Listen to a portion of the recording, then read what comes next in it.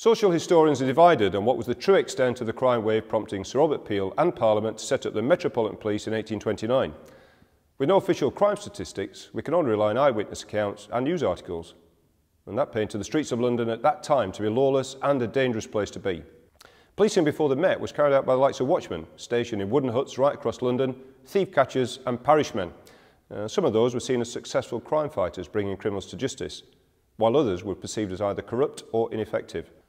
Peel became Home Secretary in 1822 and set to work arranging a select committee to review the policing arrangements for the capital. The committee was not convinced by the new Home Secretary's arguments and rejected the concept of a professional police service. However, undeterred by this setback, Peel set up another select committee in 1828, and that finally approved the introduction of the Met, led at that time by two commissioners, a colonel and a barrister. They had 895 constables, 88 sergeants, 20 inspectors and eight superintendents. Officers were commonly referred to as peelers and bobbies, which is still used today after Sir Robert Peel.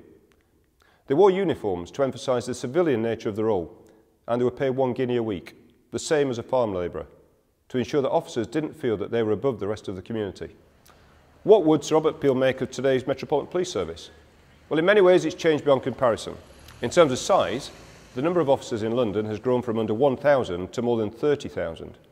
We now cover some 625 square miles compared to the seven mile radius in 1829, and London has become far more diverse, with 300 languages spoken.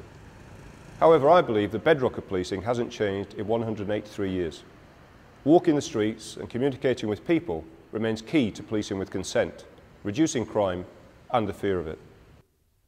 Robert Peel's best quality was he made a clear analysis of the problem. There was too much crime. He developed a simple solution, a police force. He won a debate by communicating his idea clearly and standing his ground even when it became difficult. He was a leader.